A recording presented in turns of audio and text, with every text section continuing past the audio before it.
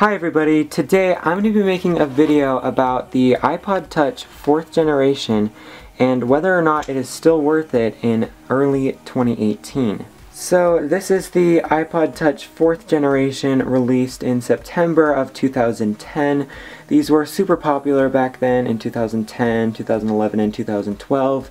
You know, all the cool kids had these and it was a great device overall. So first of all, we're going to be talking about why you would even want an iPod Touch 4th generation in early 2018. Now obviously this is not going to be your daily driver device nowadays, so the only reason why you would really want it is for music, like let's say your iPhone is low on storage and you can put your music onto this device and then save space on there and then just listen to your music on your iPod Touch. Um, and the other reason would be purely for just nostalgia reasons. You know, the latest update for the iPod Touch 4th generation is iOS 6.1.6 which is basically the last version of like the classic iOS look and feel and it really is something special. It has a great design and you know, it looks all skeuomorphic and realistic and you just don't get this kind of character anymore. So it is a really cool interface. So yeah, that might be another reason why you would want this device. Um, another reason would be price. Um, obviously, since this is pretty old by now, you can get these for super cheap on eBay. And it comes in 8, 16, 32, and 64 gigabyte capacities in a black or white front. Um, the back is always just this silver chrome look, while the front can be black or white so an 8 gigabyte iPod 4 would be about $25 on eBay, and then a 16 gig would be like 35, 32 gig would be 45, and 64 gig would be about $55. And again, it of course all depends on the condition of the iPod. Um, if you're getting like just a good condition one, not like a flawless, perfect one with no scratches at all, um, then it would probably be around those prices, but if it was like completely shattered, then it would be cheaper, and then if it was like in mint condition, then of course it would cost more. So yeah, another reason is price. So next we're going to be just taking a look and seeing what you can still do with the iPod Touch 4th generation here in early 2018. Now first of all, I'm just going to say that the iPod 4 still has a pretty nice design.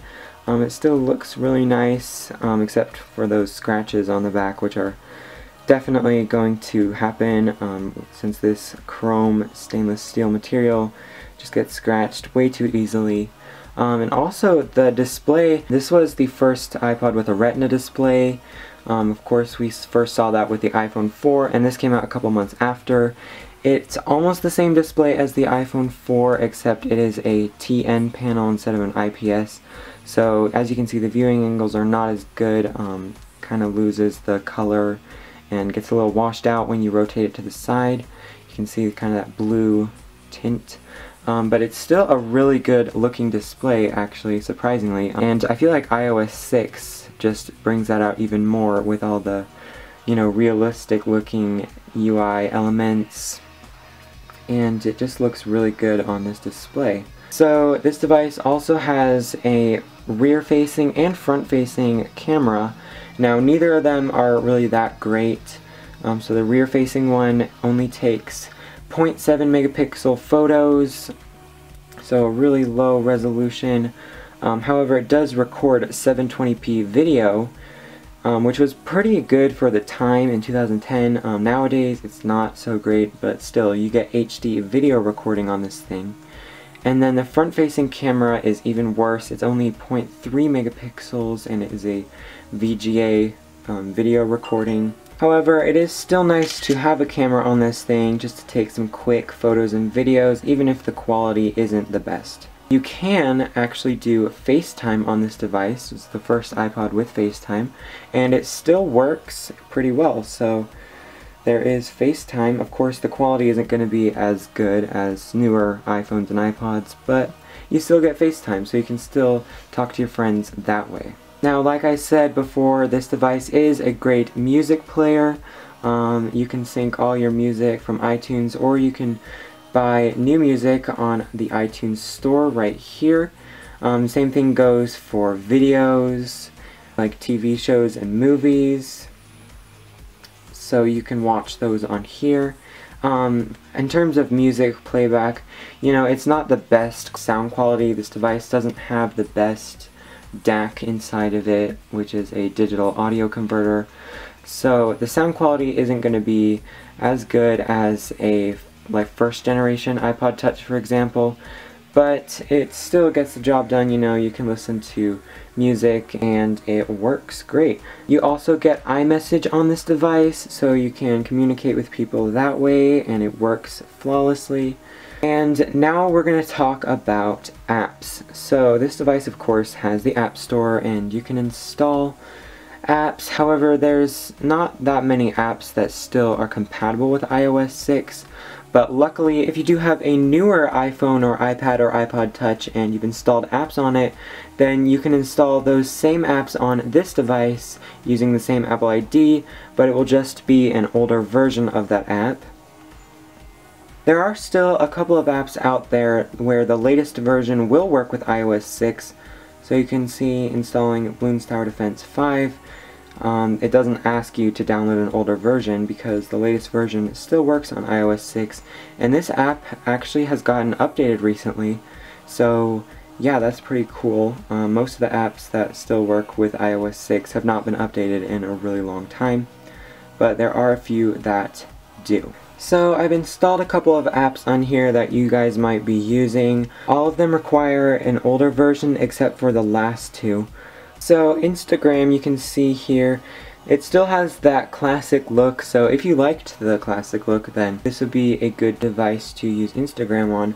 Um, it still does work, you can log into your account and everything. And it works and everything, um, you can still see all of your feed.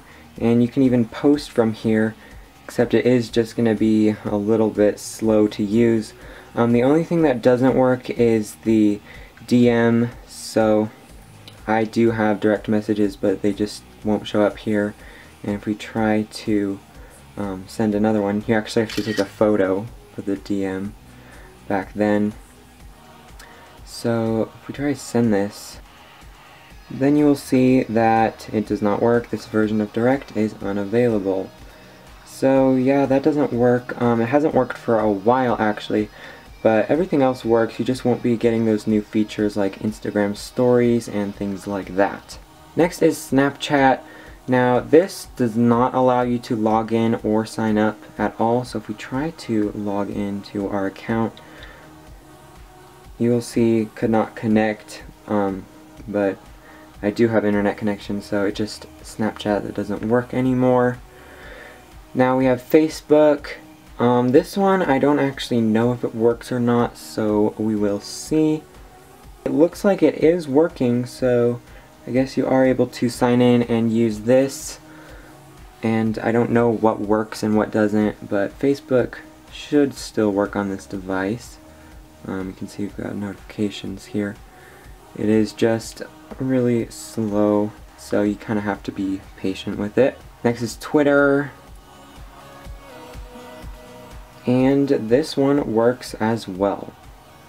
So Twitter still works on iOS 6. It just takes a really long time to load and everything. Next we have YouTube, and this also works perfectly. So, yep. Okay, next we have a couple of games. So, we have Tiny Tower. Um, this one is actually really fun, um, but it's an much older version, so it's a lot different than the new one. And we've got Game Center. Now what I have found with this version of Tiny Tower on iOS 6 is that after a while it just starts crashing. However, if you put your device into airplane mode, then it will start working again, so it's kind of weird. You just have to use Tiny Tower in airplane mode at all times. And then next we have Tiny Wings. Again, this is a super fun game and it works perfectly on this device. So yeah. There's Tiny Wings. So yeah, that's another really fun game. And these last two, the latest versions of them do work with iOS 6, so we have Bloons Tower Defense 5. Um, this one works perfectly and it gets updated um, pretty frequently actually and still works on iOS 6 as soon as it decides to load. So there is Bloons Tower Defense 5 working on the iPod Touch 4th generation, another really fun game, but it is $1.99. And finally we have Rolling Sky, again the latest version supports iOS 6, however when you try to open it, it just crashes. And this is going to be the case with a lot of apps, so just be prepared for that. So as you can see, if you don't have a newer iPhone or iPad or iPod Touch or a computer with iTunes, then your app selection is going to be pretty limited. And also app support on iOS 6 is going to be a lot better than iOS 5 for example. Now let's also talk about some of the apps that come preloaded on the iPod. So we already talked about FaceTime. Calendar is pretty self-explanatory. Um, don't need to go into that. And then we have photos. Obviously you just view your photos and you can do slideshows and everything. And share your photos from here. And then we have camera, videos, you can watch your TV shows and movies there. Now maps, this one actually does not work on iOS 6. Um, it never works. Um, it just shows this grid, so that is not going to work for you on this device. Then we have the weather, and this works perfectly good for checking your weather. Passbook, um, this is where you can store your boarding passes and movie tickets, things like that. Um, should still work if you find some apps for Passbook. And then we have notes, again, pretty self-explanatory here.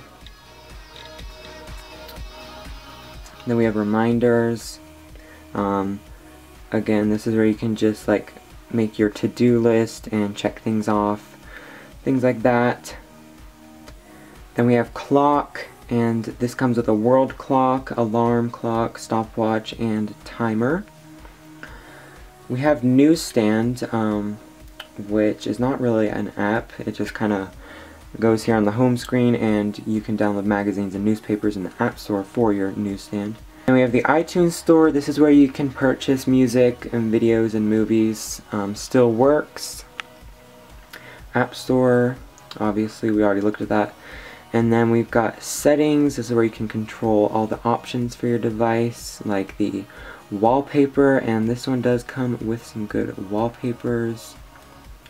So yeah, can also set your own of course. Um, yeah, you get access to all of your controls like accessibility, um, different things, your Wi-Fi and Bluetooth. So yeah, um, you got messages, um, you can communicate with other people that have iMessage. Then we've got your email. Um, this may or may not work depending on which email service you use. Um, I know for me, Gmail does not work on this device. So yeah, it just depends. And then Safari is of course your web browser and it still works, obviously. Just as slow. And then finally we have music and stocks um, which also works. You can see all your stock market information. Then you've got contacts, we can store your contacts. And then a calculator, which still works. I mean, obviously, why would it not? And then voice memos, which you can record little voice recordings here. So yeah, now next we're going to talk about performance on this device. Um, you've already seen it's pretty slow. Like if we just open up Instagram, it takes a pretty dang long time to load here. So we're still waiting on it and we're still waiting. And there it finally goes. So yeah, um, launching apps is not going to be great and my home button doesn't work. Um, and then gaming performance, it can be a little laggy at times, especially for those more intensive games. But for a lot like Tiny Wings, which is a pretty simple game, um, it's pretty smooth, um, Minecraft, things like that. Overall, it's not the fastest device, but you know, it's not unbearably slow either. Um, some other things about this iPod, the battery life on it is not great. Um, iPod Touch battery life has never been very good, especially compared to the iPhone. So yeah, just expect to get maybe like one to two hours of screen on time on this thing, maybe a bit more, maybe like an hour and a half to two and a half hours, somewhere around there. So yeah, it's not great. Um, you're gonna have to charge this pretty often. Uh, and of course it is an old battery since these devices haven't been made for a while. So yeah, also um, the buttons on it, since it has this kind of tapered design, the buttons are kind of on the side a little bit more, or like on the back almost. Um, so you kind of have to get used to pressing the button on the side rather than the top. So that can take some time to get used to. Also the home button, um, the home button on the iPod Touch 4th generation has been notorious to just fail, so um, it doesn't always work properly, so sometimes you're just trying to go to the home screen and it doesn't work. Um, this one's still pretty good, but like I just pressed the home button once there and it opened up the multitasking, which requires a double press, or sometimes you'll press it twice and it only um, activates once, but yeah, this one's still pretty good actually but still have some problems with it. So be prepared for the home button not to work perfectly. So that was just my little review of the iPod Touch 4th generation. And to answer the question of whether it's worth it or not in early 2018, the answer is obviously no. I mean, this it's just not practical anymore, especially for a daily driver device. However, if you are just looking at it for nostalgic purposes, then this is absolutely a great device. It is one of my favorite iPod Touches ever made, and I absolutely love this thing.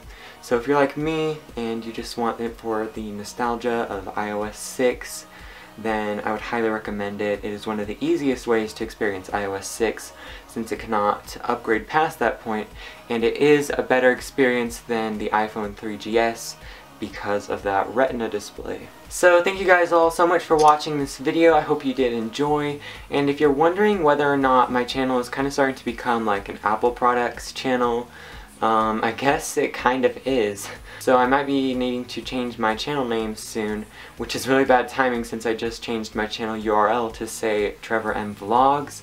Um, and you have to reach like a certain number of subscribers or some requirement, I don't know, to change it again. Um, so yeah.